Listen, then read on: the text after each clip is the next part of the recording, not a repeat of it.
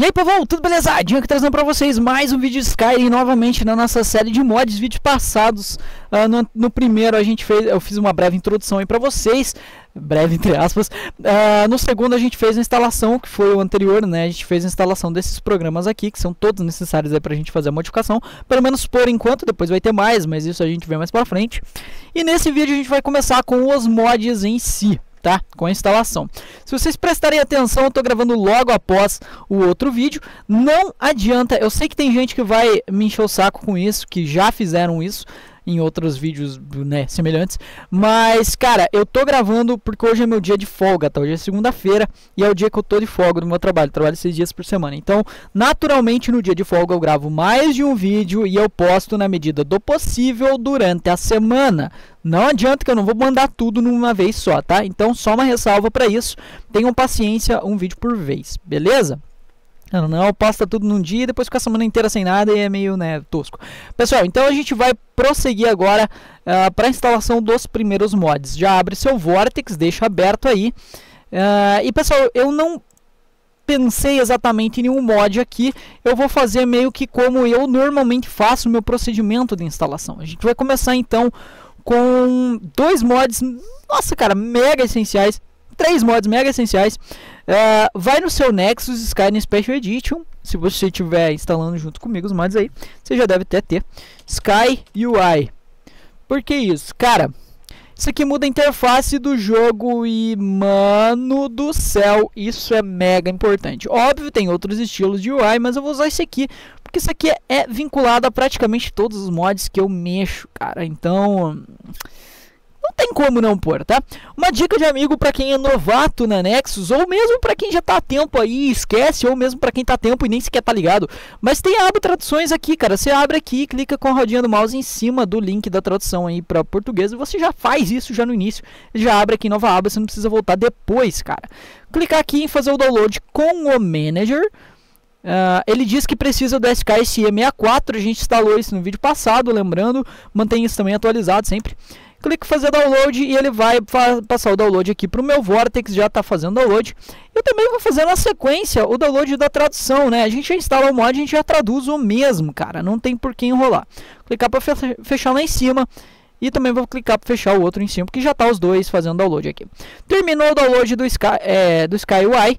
Vamos fazer a instalação dele. Primeiro, lógico, a gente está instalando o mod, depois a gente instala a tradução. Seria idiota instalar a tradução e depois o mod.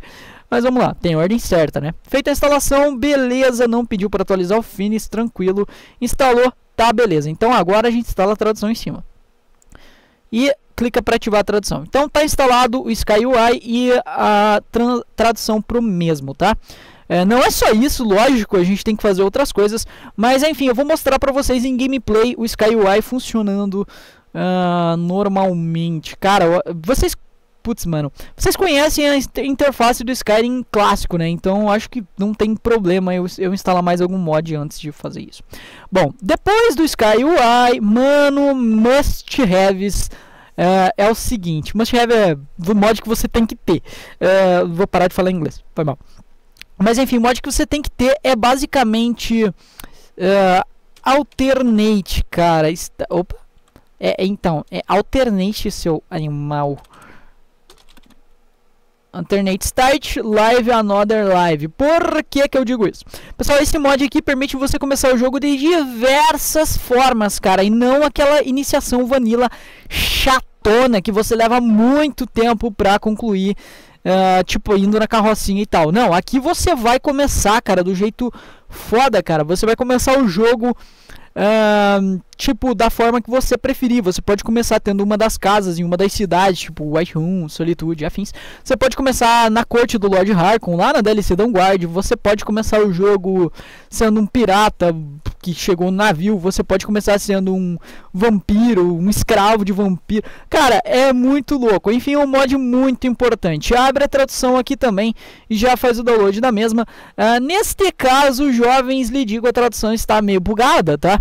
Eu depois eu vou fazer, eu sou muito chato com isso daí. Depois que eu ensinar vocês, vocês também provavelmente vão acabar fazendo, mas eu vou fazer a conversão da tradução do Legendary Edition pro uh, SE, porque essa aqui foi uma tradução muito porca. Desculpa o modder aí, mas cara, não ficou legal não. Tem traduções ali, vocês vão ver uh, tipo solitude escrito, sei lá, solidão, cara. Então é muito merda, né? Porra, cara, que, que bosta, cara. Eu, mano, que merda.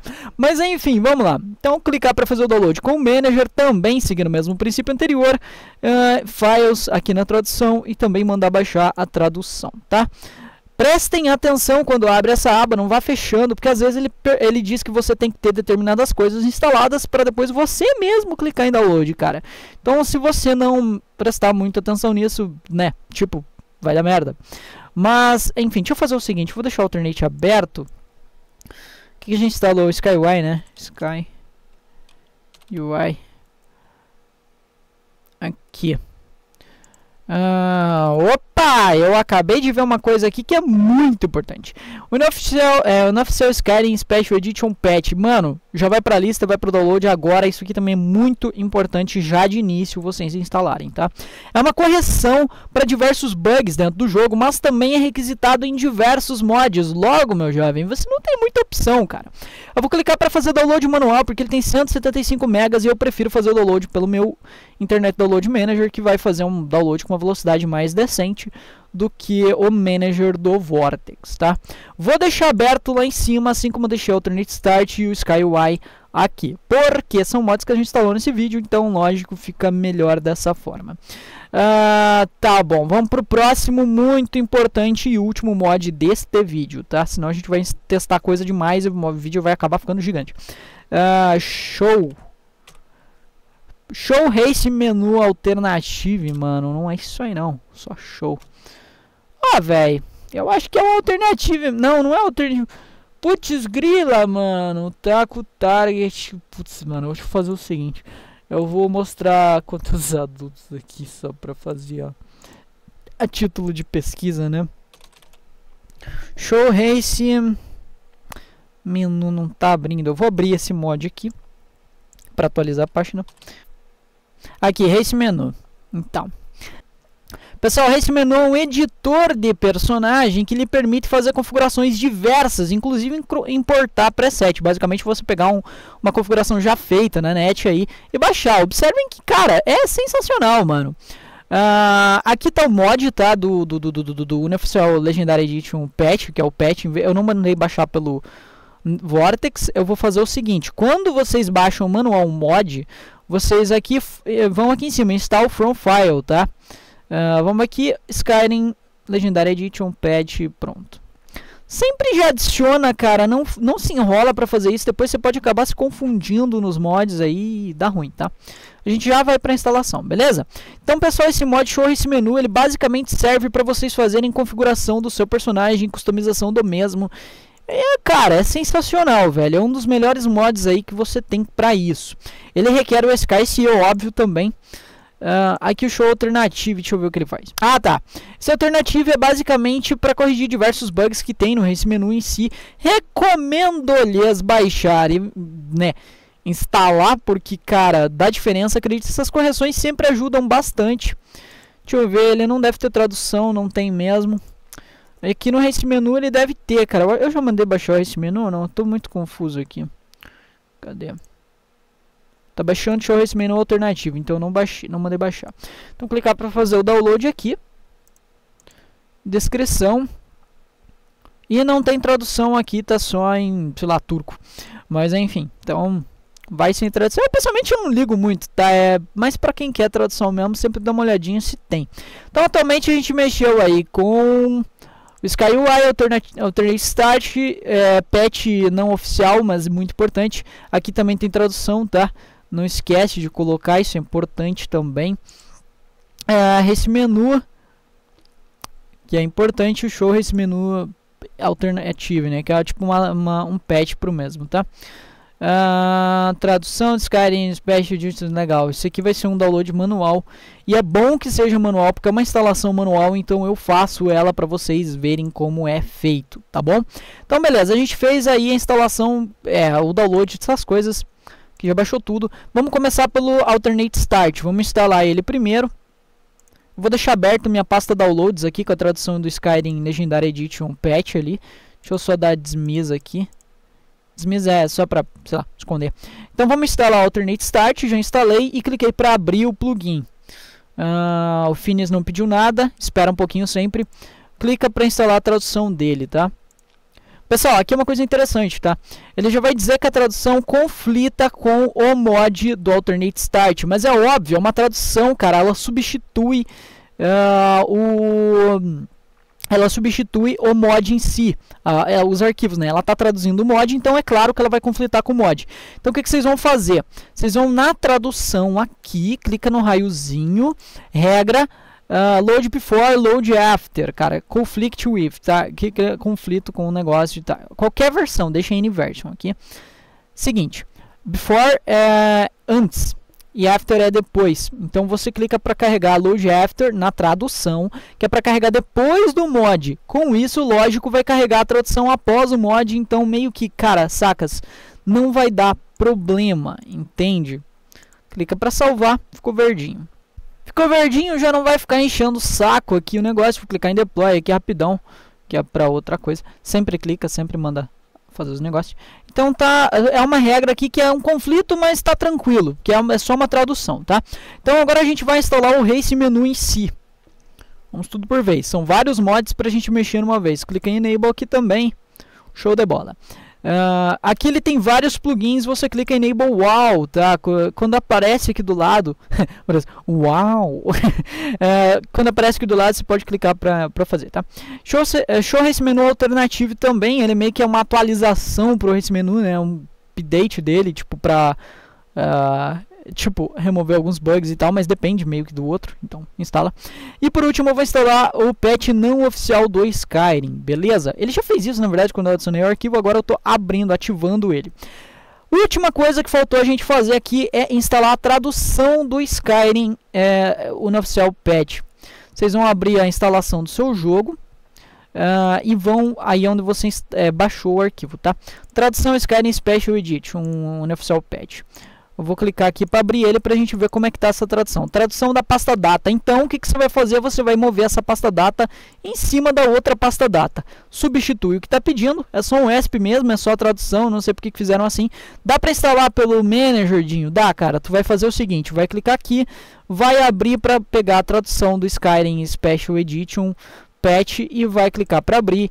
Uh, ele vai adicionar o arquivo aqui e você pode mandar instalar em cima sem problema nenhum. Só que preste atenção no que eu fiz aqui. Eu vou clicar de novo para abrir. A tradução aqui, ó, clicar abrir. Por que, que eu estou falando para vocês prestar atenção nisso? Estão vendo que tem tradução aqui dentro?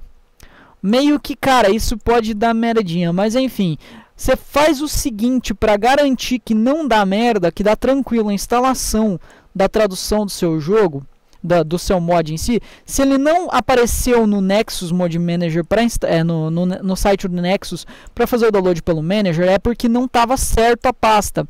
Tá aqui tradução e depois a pasta data. O que, você vai fazer, cara?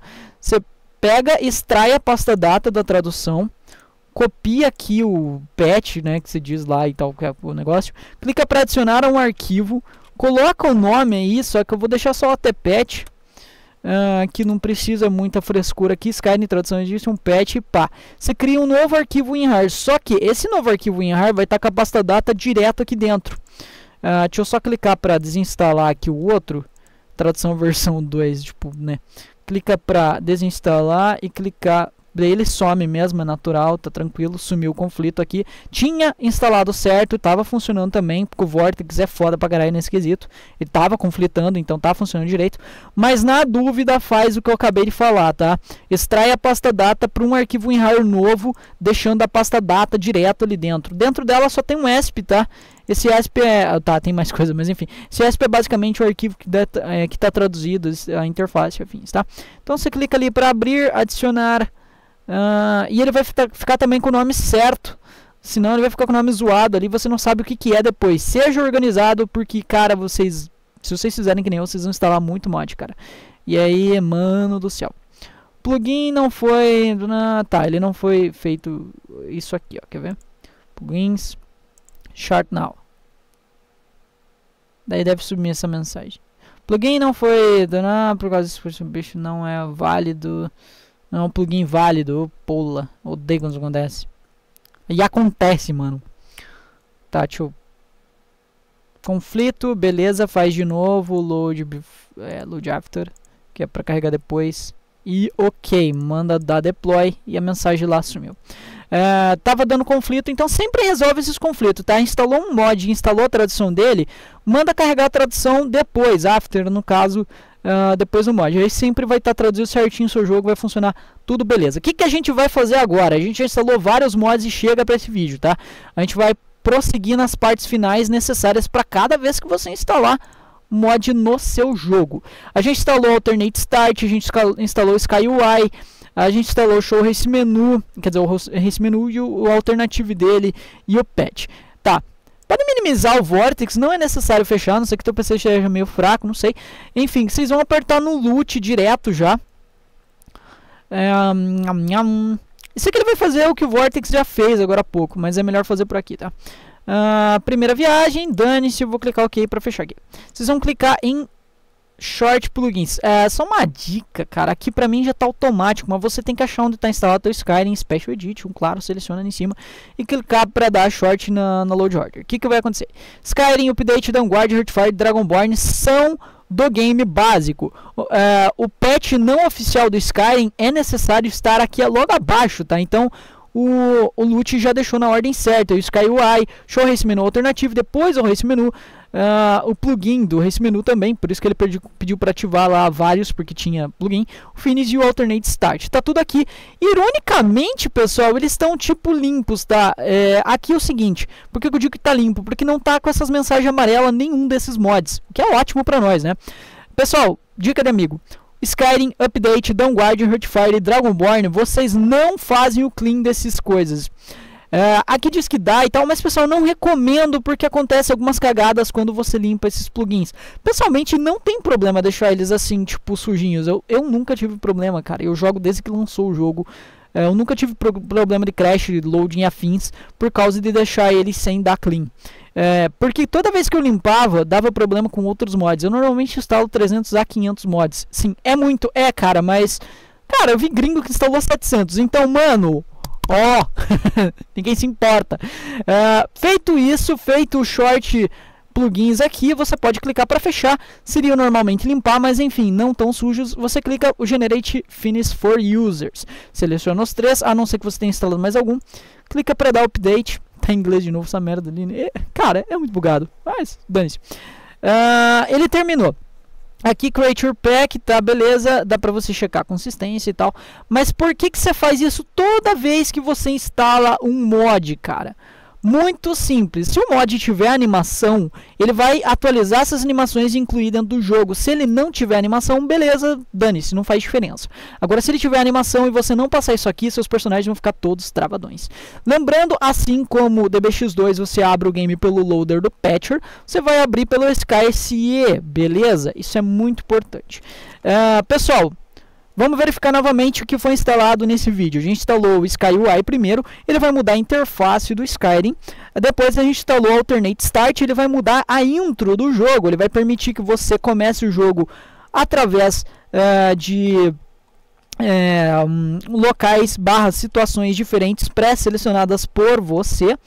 Uh, deixa eu fechar aqui deletar todas essas porcaria. Uh, eu vou clicar em novo aqui para vocês verem que vai iniciar o jogo de uma forma diferente, tá? A gente instalou o Race Menu, que é o melhor mod aí, na minha opinião, para vocês fazerem a customização do seu personagem. Então tá aí instalado também. Vocês estão vendo que tá diferente a criação de personagem, né? Então é por conta desse mod. Ironicamente ele tá traduzido, então, é, mano, ô louco bicho, tá ligado? Não era pra ter em português, mas tá. Aqui na aba de cima vocês trocam com o botão RT, no caso de controle, ah, whatever. Tem preset, dá pra você carregar ou salvar um preset, o que pra geral é muito conveniente, porque dá pra você pegar um da net e não precisa ficar configurando tudo. Aqui tem câmera e pra mim tá faltando o scope, que é uma aba extra ali, eu tenho que providenciá-lo depois, que é pra dar uma ajeitada em alguns mods quando os mesmos dão bugs, tá? Vocês têm a aba aqui com tudo, você pode configurar a primeira raça, Uh, pode configurar depois o corpo, não tem problema. O sexo deles pré-definido, tom de pele, o peso. Uh, meu, desculpa, meu controle tá, meu controle tá louco aqui. Para, para, filho da mãe, para. É! Que ódio, mano. Essas coisas me acontecem eu fico louco, velho. Porque. Tipo, não é minha culpa. A equipe tá quebrando mesmo, analógico. Fazer o que, né, cara? Triste vida de pobre é foda. Oh, funciona o controle. Agora o controle parou de funcionar pra valer. Que, que pula. Mas tudo bem. Aí, voltou. Espero que não tenha bloqueado. Aí, deixando mais máximo aqui. Vocês podem... O controle, qual é, velho? Funciona... Ah, tá. Ah, desculpa. Tá no USB 3.0 e dá ruim mesmo. Tem que ser no 2. Beleza, tá voltando. Ah, que beleza, cara. Deixa eu voltar lá pra cima, dá pra você mudar a cabeça e afins. É, próximo vídeo a gente vai mexer com outras customizações. Lembrando, normalmente eu jogo com personagem feminino. Eu odeio ficar olhando personagem masculino. Convenhamos, eu não gosto de personagem masculino. É, né, você vai jogar, tem que jogar vendo algo bonito. Então, próximo vídeo, vídeo a gente vai mexer com mods bem grandes, cara. Mas enfim, tipo de nariz, altura, cara, customização aqui é sensacional. Formato de olhos, sobrancelha, boca, cabelo, extra, expressões, cores, make-up, no caso maquiagem, pintura corporal, Uh, pintura da mão, pé, escala do corpo. Aqui é muito interessante, cara, porque dá pra você aumentar o tamanho do arco. Boa é arco, tá? Você pode aumentar o tamanho do arco, deixar ele gigantesco ou diminuir, sei lá, se você quiser. Eu, às vezes, eu diminuo pra personagem feminino ficar maluco. É, mini arquinho, tá ligado? Dá pra aumentar o tamanho do, do machado, da espada, da massa, do escudo. Uh, ao tamanho das armas que ficam na, nas costas, né? E assim por diante. Aqui Quiver é, para quem não sabe, é basicamente aljava, onde você guarda suas flechas. Então, mano, é sensacional, velho. Eu recomendo muito usar esse mod. Eu vou criar aqui o prisioneiro, tá ótimo. Uh, beleza, esse ali é o mod então de Race Menu para você configurar. A gente vai ver mais ele usar no presets e afins mais pra frente, tá? Uh, o MCM está registrando um menu novo. O MCM é do do, do, do mod de é, do configuração de mod aqui. Isso aqui é muito top. Óbvio, ele configurou aqui o SkyUI, né? A gente tem aqui as configurações do mod. Isso vai ter para a maioria dos mods, tá? Não a maioria, mas pelo menos metade dos mods vão ter essas configurações. Você pode mexer aí. E beleza, próximo mod que a gente vai é, fazer a uma breve análise aqui para vocês darem uma olhada, entender o que, que ele é, o que, que ele faz. É um mod de interface que é o próprio SkyUI, tá? Então nas magias vocês lembram como é o Vanilla? Então agora é diferente, mano. Agora tu tem a, o menu de magias, poderes a, dessa forma aqui. Eu pessoalmente, pessoalmente eu prefiro esse aqui. Jato de fogo. Um jato de fogo que causa 8 pontos por segundo de dano nos alvos chamas recebe Ah, foda-se. Aqui tem o de cura, que são magias iniciais. Os poderes, o grito de batalha, que é óbvio dos nórdicos, né? Uh, show esse menu alternativo é para mostrar o menu de criação de personagem, mas dá para fazer isso por código também. Resistência a gelo, que dá 50% de resistência a gelo dos nórdicos, né, que é racial. Se eu apertar aqui, vai usar o grito de batalha também para pacificar geral. Uh, para cima na habilidades, óbvio, vai continuar o menu igual, não tem por que mudar isso aqui, mas também está traduzido, o que é foda pra caralho. Para baixo a gente tem o um mapa, Mapa local, deixa eu voltar aqui para o mapa total. A gente vai usar mod também de interface, beleza? A dungeon start do jogo fica aqui, do lado de um dos mapas que eu mais gosto, cara. Essa área que eu acho muito linda, velho. Enfim, voltando para o menu, temos o menu de itens por último, que também é um menu muito importante, a gente usa demais. Na primeira aba da estrelinha fica seus favoritos, tá? A segunda aba aqui tem as roupas, né, o trajes e afins. A, a, terceira aba fica as armas. A quarta aba fica só as roupas. Aqui no caso é tudo da, do inventário, tá? Daí as armas, daí as roupas, as potions, os, os pergaminhos, as comidas, os é, reagentes ali de alquimia, os livros, cartas e afins, chaves e por último os itens meio que de criação e afins, tá? Os extras mesmo, tipo gemas de alma e etc, tá?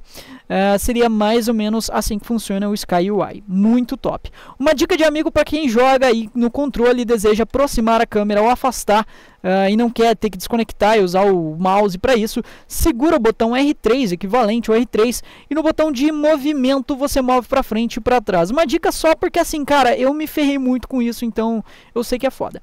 Enfim, agora vamos pro mod Alternate Start, pessoal. O mod do Alternate Start funciona nessa estátua aqui. Você vai começar nessa dungeon, tá? Inclusive uma das opções te dá para você abrir essa porta aqui da dungeon e rapar fora aqui mesmo e sair quebrando pau em todo mundo lá em cima e tipo rapar fora. Aqui tá cama, onde você vai iniciar para valer um mod, tá? Então vocês vêm na estátua da Mara e vocês vão selecionar a forma em que vocês preferem começar o seu game, tá? Cheguei a bordo de um navio. Eu possuo uma propriedade em, em, um dos porões. Cara, em uma das cidades, tá? A tradução ficou muito merda nesse quesito. Isso que eu falei pra vocês na hora que eu tava mexendo no mod. Mas pelo menos tá traduzido, né? Uh, eu sou um novo membro de uma guilda. Inclusive é aqui que eu falei, dá pra você começar na, Lord, eh, na, na corte do Lord Harkon, tá? Uh, tribunal do Harkon. Cara, não é tribunal, é corte, tá? Lá é uma corte. Corte do Lord Harkon. Da, é, Harkon. Dá pra tu começar na Danguard, dos ladrões, da, da, da Dark Brotherhood, uh, Colégio Winterhold, Companions e tal. Dá pra você fazer essas coisas. Dá pra você ser um patrono em uma pousada local. Isso seria o dono de uma pousada local. Ou herdeiro, no caso. É, ser um soldado do exército, dá para você começar o Start Vanilla, que você foi pego cruzando a fronteira ilegalmente, tá na carrocinha lá com o Ulfric e tal. Dá para você escapar dessa cela, como disse, sair quebrando porra todo mundo lá em cima. Uh, você pode ser um faro da lei nos campos, você pode ser um vigilante de standard, que é standard, que é no caso lá as paradas contra os, os mortos-vivos e afins. Uh, você pode estar tá acampado na floresta, você pode naufragar na costa, você pode ser um vampiro num covil isolado, você pode ser um necromante em um local secreto. Uh, lógico, você vai começar com skills de necromancia melhores. É, você pode ser um escravo de um feiticeiro, você pode ter ataca sido atacado e deixado para morrer, você pode ter sido amigo de infância de Eric, o, o caçador, uh, e me surpreenda vai escolher uma das coisas aleatoriamente. Eu vou, opa, eu vou escolher aqui uh, propriedade em uma das cidades. Tá aqui outro bug de tradução que eu disse para vocês que me incomoda bastante. Se você escolher solitude ali, é, tá escrito tipo de outra forma. Às vezes dá um bugzinho e não vai para frente, tá? É só sair e falar de novo que daí provavelmente vai ir. Uh, solidão aqui, tá ligado? Rifting Right Room, a Breeze Home, né? Normal zona. Selecionou a sua opção de início de vida, você vai poder ir aqui na cama e vai começar a sua nova vida desta forma, cara. Vamos embora. Tem um loading, acredito que não vai demorar muito, afinal de contas eu não instalei muito mod também, não tem muita coisa para carregar. Então tá aí, nosso prisioneiro, tá em White Room já. Uh, pessoal, uma coisa se falar sobre o mod do Alternate Start, uh, você vai começar o jogo de uma nova uh, forma, de uma forma diferente, mas, lógico, cara, você vai ter que selecionar, é, você vai ter que continuar o jogo de alguma forma, né? Então, como você vai fazer isso?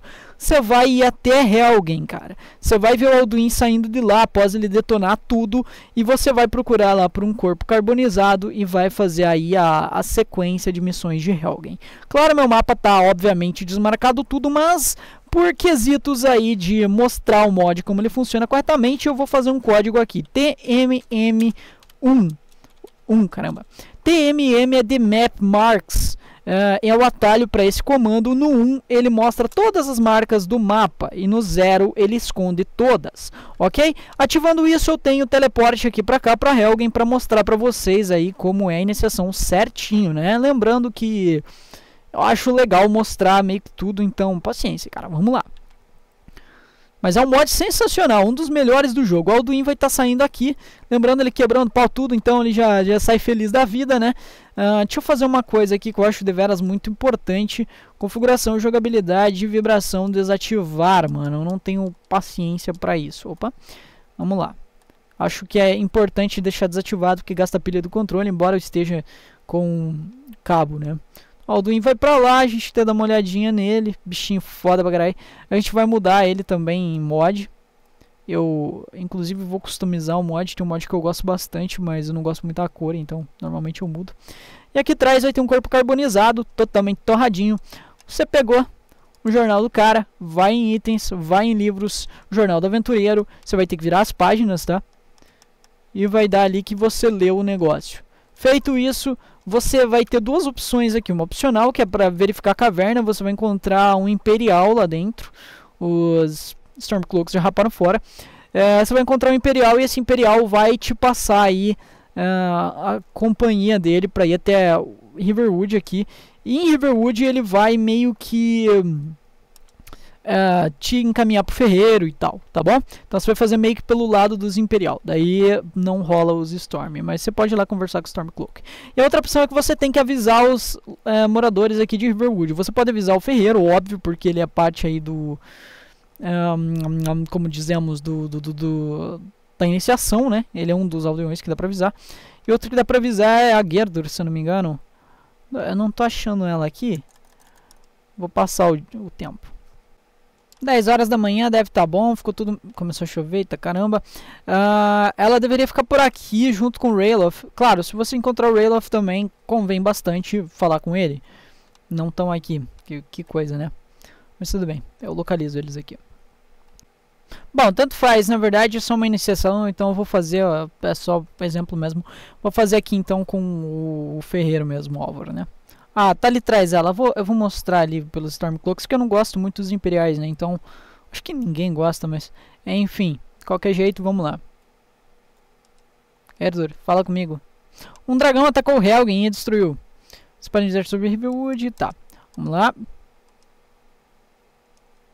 Aquele dragão voou para esse lado, você deve ter visto.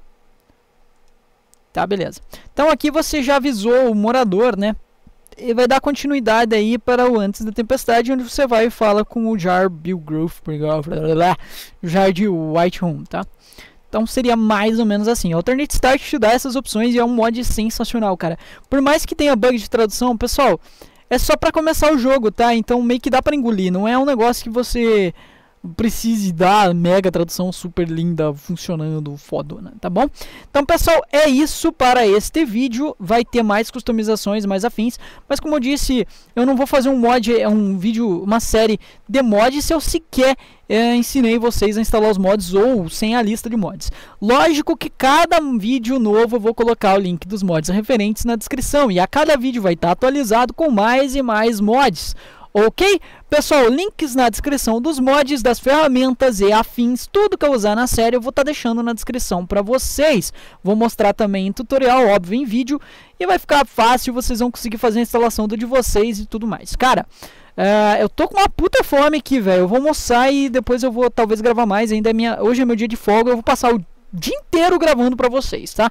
Então não vou postar vários uma vez, mas eu vou passar o dia inteiro gravando para vocês e, bom, Dessa forma, naturalmente, vocês vão ter vários vídeos. Então, cara, de nada. ai, ai, o cara gastar o dia de folga só pra fazer uma coisa, só, só pra dedicar o canal, é, é muita loucura. Mas enfim, povo, abração então. Até a próxima. Comentário à disposição sempre, sempre com educação. Muito obrigado a todos que se inscreveram no canal através do esquema de membro ali. Vocês colaboram diretamente com o canal, diretamente com minha pessoa. E eu fico muito agradecido com isso, porque isso me ajuda muito, cara. Que o canal dá bastante gasto e, lógico, o tempo gasto também custa, cara. Então. Uh, por mais que eu faça por lazer, esses valores ajudam muito. Também os do Superchat, beleza?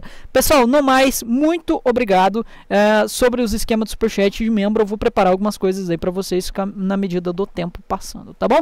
Pessoal, até o próximo vídeo então. Obrigadão, fui!